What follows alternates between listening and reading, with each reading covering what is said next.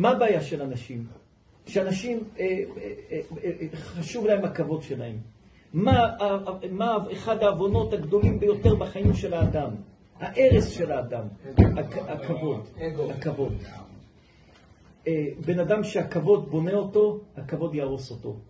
אדם צריך להיות במצב כזה, שגם מתי שמכבדים אותו, זה לא ירים אותו, זה לא יגרום לו למעלה, וגם שישפיל אותו, זה לא יוריד אותו למטה. אז ככה תמיד אתה חזק.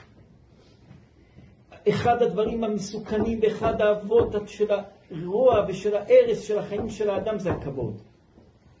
והרבה החלטות, רוב ההחלטות שאנשים מקבלים בחיים זה מהכבוד. איך יכבדו אותי, מה יחשבו עליי, איך יחשבו עליי, זה הכבוד. אדם יושב במקום, לא כיבדו אותי, כן כיבדו אותי, מה אמרו לי, מה יחשבו עליי, מה חשבו עליי. אדם חי מהכבוד. מרדכי היה חי על פי הכללים של התורה שהוא קבע לעצמו. אני לא הולך לסעודה, לא אכפת לי כבוד. אני לובש, יושב בשער המלך למטה, לובש שק ואפר.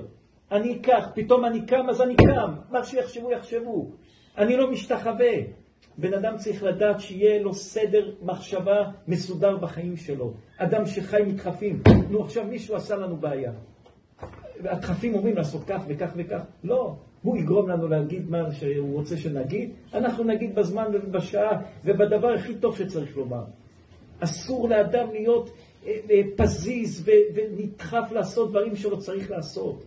אדם צריך להיות מתון ובחוכמה. מרדכי, זמן להוריד ראש, זמן להוריד ראש. זמן להרים ראש, זמן להרים ראש. זמן לאבד ולהשמיד ולעקור את הכל, לכל דבר יש זמן. ואדם שחי מתחפים, לא, עכשיו פגעו לי בכבוד, אז אני מהר יענה, אני מהר יעשה, לא. זה הטיפשות הגדולה ביותר. שבן אדם הכל מאמוציות, מתחפים, מהכבוד, לא, יש זמן.